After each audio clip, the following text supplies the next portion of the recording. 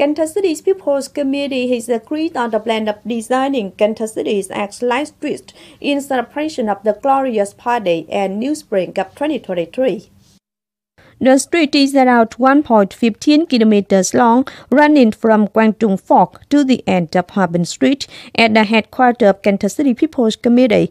The street will be lit from December 22, 2022 to June 30, 2023 and is earmarked from socializing source as a legal stipulation.